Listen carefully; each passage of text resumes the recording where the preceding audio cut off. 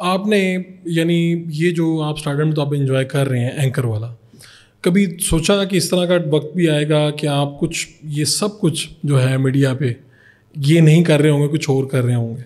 अच्छा मैं एक और मज़े की बात बताता हूँ। लोग हंसेंगे भी लेकिन मैं मेरी अम्मी कहती है ना बताया कर पर मैं बता देता हूँ। क्योंकि ये सच बोलना चाहिए। देखें खुली किताब हूँ मैं। मेरी ज़िंदगी कोई चीज़ छुपी नहीं हुई। मैं जिस जो करता हूँ जिस तरह का भी हूँ सबके सामने हूँ। एक जब ये वो मेरा इश्क मुआशका चल रहा था मेरा जब वो पीरियड था मैं मैं बीस एक साल का था उन्नीस बीस साल का था तो चल रहा था कि यार नौकरी करनी है काम करना है तो मैं एफ़ मेरे वाले साहब चाहते थे अल्लाह जन जन नसीब करे कि यार ये ना डॉक्टर बन जाए फिर इंजीनियर का भी उन्होंने काफ़ी ज़ोर लगाया मैं कुछ भी नहीं बन सका मेरा ख्वाब था हमारी गली में एक परचून वाला था हम्म।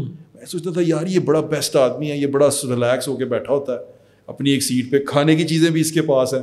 पैसे वैसे भी इसको पहुँच जाते हैं। सीट भी बड़ी कंफर्टेबल है और पूरा गली भी नज़र आती रहती है इसको। तो ये सीट बड़ी अच्छी है। मैं भी इसके सामने एक परचून की दुकान खोल लूँगा। ये मैंने एक फ़ौज में जाने से पहले भी ना ये सोचा हुआ था कि अगर फ़ौज में तो जा नहीं सकते। मुझे ऐसा लगता था कि मुझे कोई रखेगा नहीं। तो मैंने ये एक ऐसा कुछ होना चाहिए। सेटअप होना चाहिए हाँ। वो अंदरून शहर में तो यही सेटअप नज़र आता है ना। हम हमारा एक्सपोजर नहीं था हम बाहर निकले नहीं थे। तो दरून शहर गली के अंदर ये एक्सपोजर था कि ये बंदा बेस्ट पैसे कमाता है बेस्ट रोटी खाता है हर चीज़ इसके इर्द गिर्द है और जो जो इसने खाना पीना हो वो इसके इर्द गिर्द ही पड़ा होता है। तो ये बड़ा अच्छा। तो आ, आ, मेरे जो था क्या कहते हैं ये सारा सिनेरियो जिसमें मैं ये करना चाहता था मुझे ये अंदाज़ा ही नहीं था कि मैं कभी यहाँ तक आ जाऊँगा। हम्म। मैं दरून शहर का एक क्या लफंगा लफंगा लफंगा कह दें लेकिन एक ऐसा नौजवान था जो आ, बिल्कुल आज़ाद ख्याल था हम्म। कोई चीज़ों पे उसका कोई वो नहीं था किसी को उस पर ज़ोर नहीं था हम्म। सिवाय अब्बा जी की बेल्ट के और अम्मी की गालियों के कोई पार नहीं था उसको हम्म। ज़िंदगी आज़ाद थी मैं कभी सोच भी नहीं सकता था कि मैं इस साइड तक आ जाऊँगा लेकिन ये भी मेरे वाले साहब की मेहनत है कि वो तब तक मेरे पीछे कोशिश करते रहे उन्होंने मुझे हर पॉसिबल अच्छी बेहतरीन अकेडमी में पढ़ाया छोड़ के आते थे खुद लेके जाते थे छोड़ के आते थे।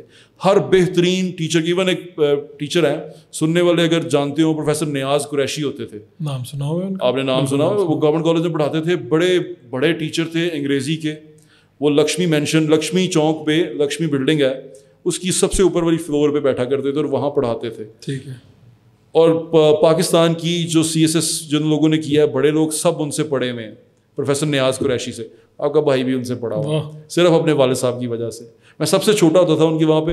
उनके पास जो जो जाता ना वो सी करने आए होते थे। और वो मुझे हमेशा कहते थे तू की करना आया है? मैं बैठा बस वो लिखवाते रहते थे। एक दिन मैंने उन्हें पूछ लिया। मैं कहा सर ये लिखवाते जाते हैं वो बोलते जाते थे लिखते मैं कहा मुझे तो समझ नहीं आती है क्या करते हैं। उन्होंने कहा अभी नहीं बताऊँगा। तीन महीने हो गए मुझे उनका पढ़ते हुए। तीसरे महीने मुझे समझ आना शुरू हो गई कि वो क्या लिखवा रहे हैं कैसे लिख रहे हैं। लिखना आ गया मुझे। मुझे अंग्रेज़ी सुनने की और बोलने की प्रैक्टिस हो गई। मुझे आदत पड़ गई। मेरे कानों को और ज़ुबान को आदत पड़ गई उस चीज़ की कि भाई अंग्रेज़ी कैसे बोलते हैं। तो वो बड़ा अहम एक था। मेरे वाले साहब ने बड़ी मेहनत की मेरे